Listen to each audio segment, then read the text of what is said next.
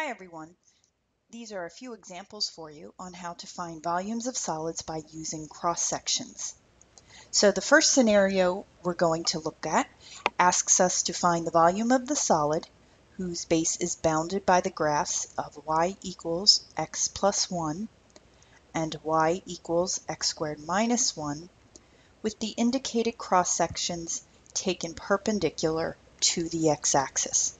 So the fact that we're having cross sections perpendicular to the x-axis, right away you know this is going to be dx integrals that we set up. So the first one we want to look at are when the cross sections are squares. So let's go ahead and graph the functions just so we can get a sense of what the base is going to look like. So if you have the equations under y equals, it should be sufficient to do zoom 6 to graph it. So there's the linear function, x plus 1, and here comes the quadratic x squared minus 1.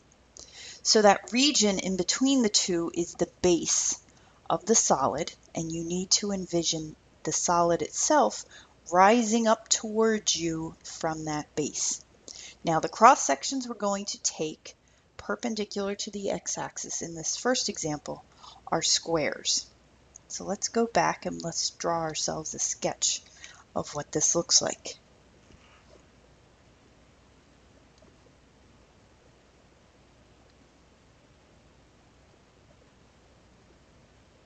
So there's the linear function.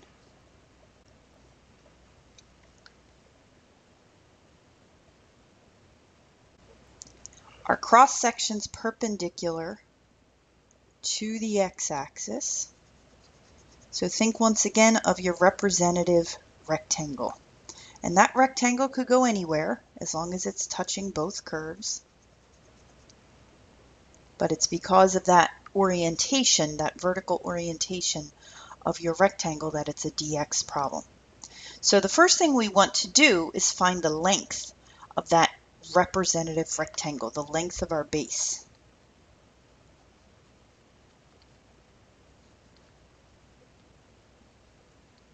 And to do that, we can do top minus bottom. So on the top, it's hitting the curve x plus 1.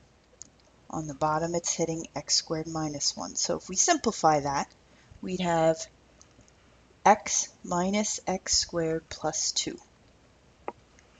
So that is the length of the side of the square that is going to be our cross section.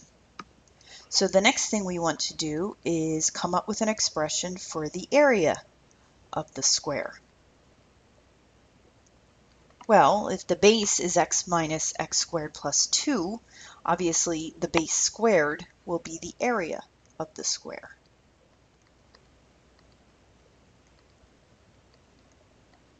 So then to get our volume of this solid that's created, we need to do the integral of that area expression. And we do need to find these points of intersection. You can do those graphically and find those graphically on your calculator.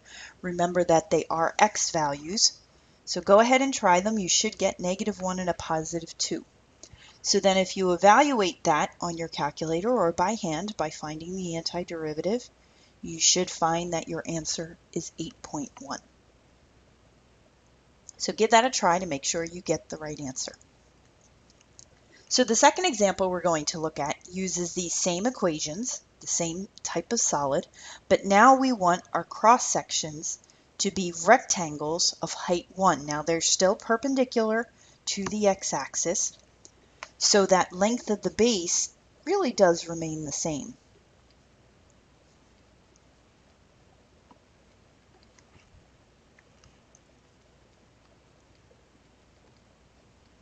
But now we need the area of the rectangle.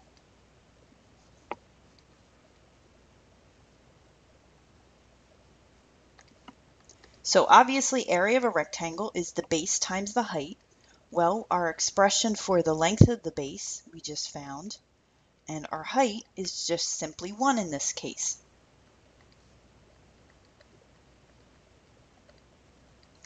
So to get our volume then, Our limits of integration are still the same. We're going to take the integral of our area of the type of cross-section we had. And once again, you can either evaluate that by hand by finding your antiderivative, or you can evaluate on your calculator. So give it a shot, and you should hopefully come out with 4.5 as your answer.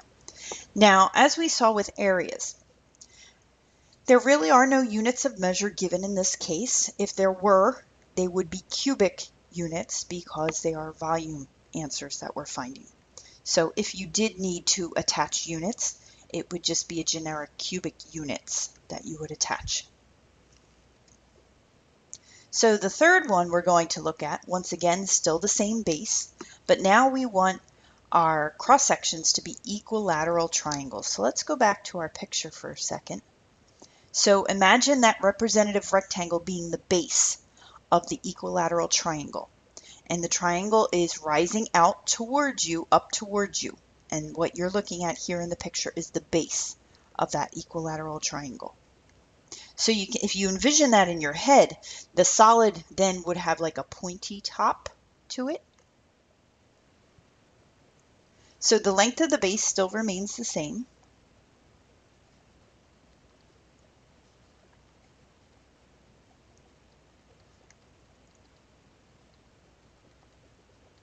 Now our area of an equilateral triangle. Remember the formula for finding the area of an equilateral triangle is square root of 3 over 4 times the base squared. So this is the base, so we have root 3 over 4 times that quantity squared. So that's what we're going to take the volume of, uh, the integral of.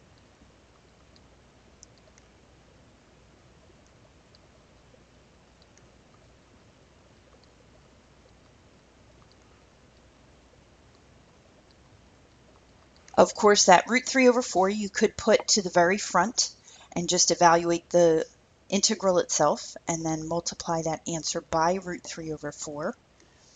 However you care to do it is up to you. Give it a shot. The answer you should get is 3.507. Now an interesting thing to note, notice that part of this integral is really what we had back here when we did the volume by using square cross sections. So this is kind of interesting. If you think about it, what you're finding is that there is a relationship between the volume of the solid found with cross sections that are equilateral, equilateral triangles versus the volume of the solid found with cross sections of squares. So basically you could take this answer we had from the cross sections being squares, multiply that by root 3 over 4, and you will get this answer over here. So kind of an interesting relationship between the two. So let's now look at another scenario with different types of equations as our base. And this time we want our cross sections to be perpendicular to the y-axis. So remember that means we're going to have dy expressions. So let's go back to the calculator and graph this.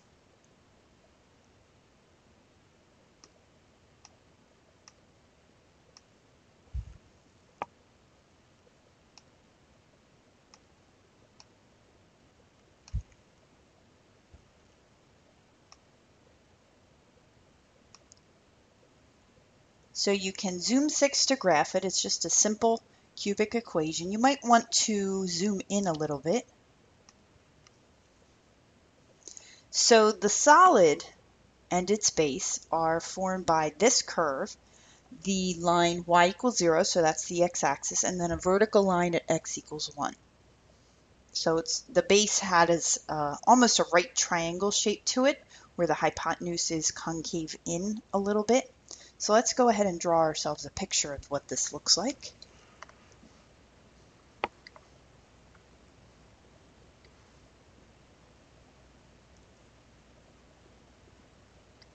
So here would be your line at x equals 1.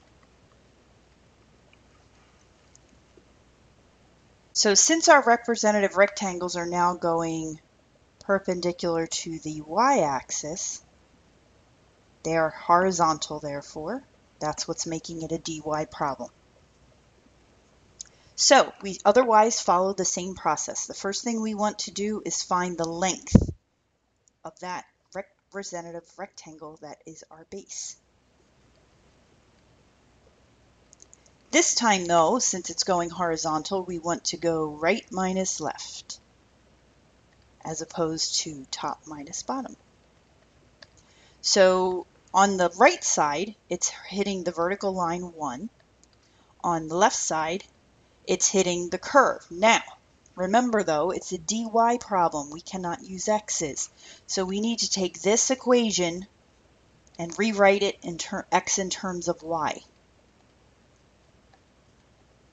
And that's how we want to work with it.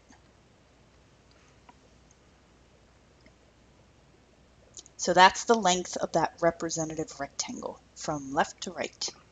So the area then of our square, so imagine that re rectangle being the base of your square and the square rising up towards you. So the area is simply going to be that base, the quantity squared. Our volume then is going to be the integral of the area. Now our limits of integration though now have to be y values. So the lower limit is 0, upper limit is 1. So you can either evaluate that by hand by finding the antiderivative or go ahead and do it on your calculator. You should get that it's 0.1. It rounds to 0.1, I know. So we have two more to look at using this same setup. So the next one we're going to look at, we now want our cross sections perpendicular to the y-axis to be isosceles triangles of height 4. For isosceles triangles, you're simply going to use that typical 1 half base times height. And you're given the height, the base is what we already found, the 1 minus y to the 1 third. So the length of the base remains the same.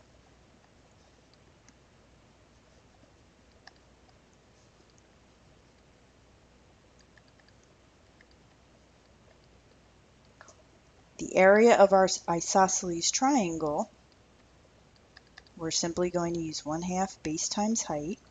So 1 half the base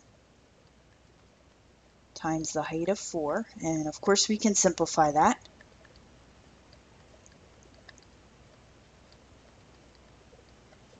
Our volume then is going to be the integral from 0 to 1 of that area expression. The 2, of course, could move to the front if you wish. And go ahead, evaluate that, and you should get rounding off to 0.5.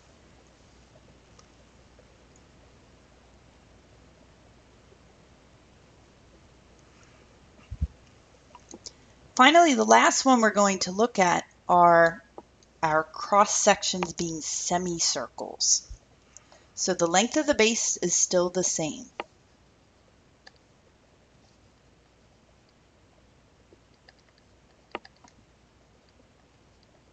Now, let's go back to the picture for a second. So that rectangle you see, front, that is the base of your semicircle. So you have a semicircle rising from that base up towards you. The length of that, though, is really the diameter of the semicircle. So you have to think of how you get area of a circle, a semicircle. Well, area of a circle is pi r squared. We need to take half of that to get the area of the semicircle. But you have to remember that 1 minus y to the 1 third is the diameter. You need to cut that in half to get the radius. So as we set this up,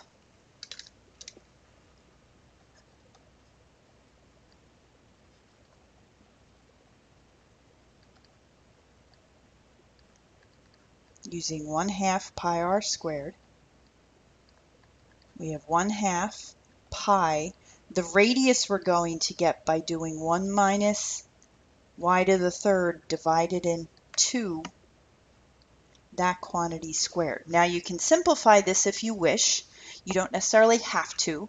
You're squaring this denominator of 2 to make 4 times the 1 half in the front, you get pi over 8. So that simplifies a little bit easier for when you go to type it in and evaluate your integral. Your volume then, you can put the pi over 8 out front if you wish, and then your integral from 0 to 1.